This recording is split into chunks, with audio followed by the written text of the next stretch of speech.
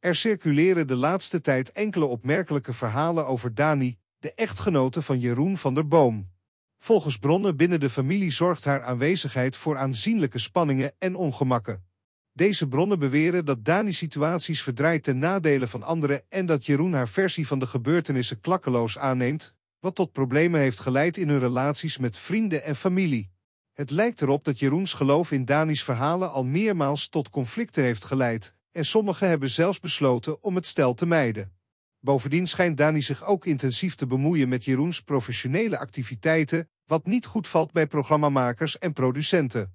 Haar gedrag wordt zelfs als storend ervaren door de productieteams wanneer Jeroen deelneemt aan of presenteert voor een programma. Eerder heeft Jeroen toegegeven dat hij een temperamentvol karakter heeft en soms enorm uit zijn plaat kan gaan. Hij benadrukte dat hij niemand wil beschadigen, maar dat hij wel streng kan zijn, gezien de aard van zijn vak. Deze uitspraken hebben een stroom van reacties teweeggebracht, waarbij sommigen Jeroen bestempelen als een van de grootste slangen van Hilversum, arrogant en onaardig tegenover het productieteam achter de schermen. De geruchten rondom Dani's gedrag zijn niet nieuw. Er wordt beweerd dat ze zichzelf graag presenteert als de vrouw van Jeroen van der Boom, zoals bleek uit een incident waarbij ze een medewerker opbelde en vervolgens geïrriteerd reageerde toen die niet meteen wist wie ze was. Dit gedrag wordt door sommigen beschouwd als uitingen van arrogantie en zelfingenomenheid, waarbij ze haar status als partner van een bekend persoon benadrukt.